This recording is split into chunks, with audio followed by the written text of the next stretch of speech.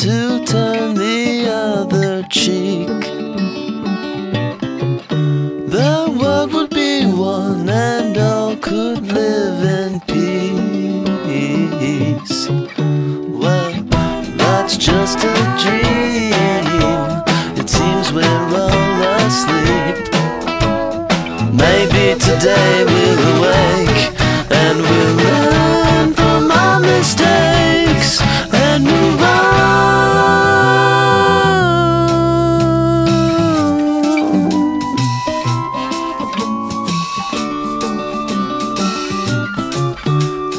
If everyone, put their differences aside.